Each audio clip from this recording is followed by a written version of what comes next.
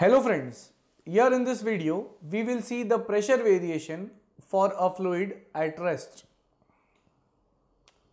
I'll start this topic.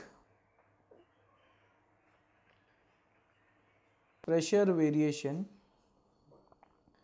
in a fluid at rest.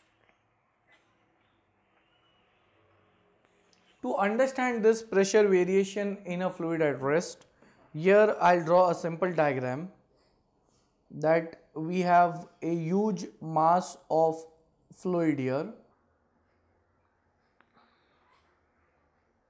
This fluid can be anything. Here suppose I assume it is to be water. Now, if we have an element which is kept inside this water and if we have the height of the element and here this would be the width of the element. Now, see pressure variation in a fluid at rest it can be explained by hydrostatic law. So this hydrostatic law it states that the increase of pressure at a point in a static fluid is directly proportional to the weight density of the fluid.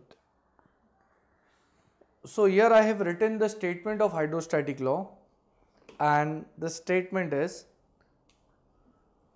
the increase of pressure at a point in a static fluid is directly proportional to the weight density of the fluid. It means if we want to find out how much is the pressure acting on this body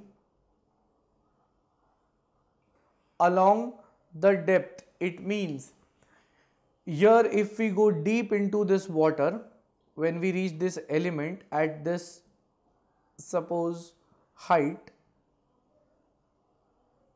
from the free surface this is the free surface of water so at this top end of the body, here we would be having a value of pressure.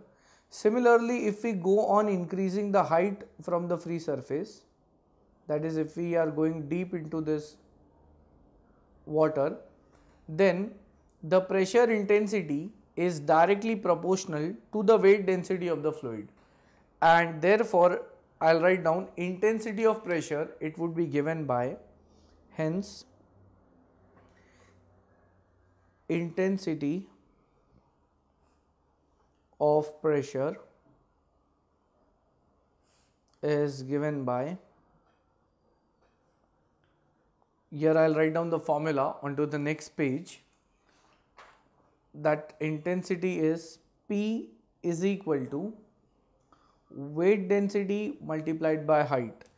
This relation is very very important. Where P is the intensity of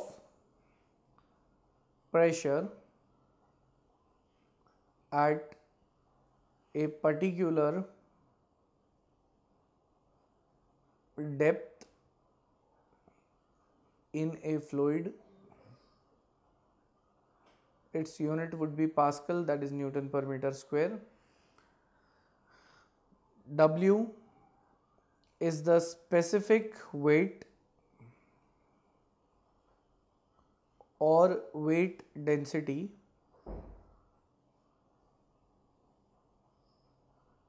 of fluid its unit would be newton per meter cube or it can even be kilonewton per meter cube h is the height from free surface of liquid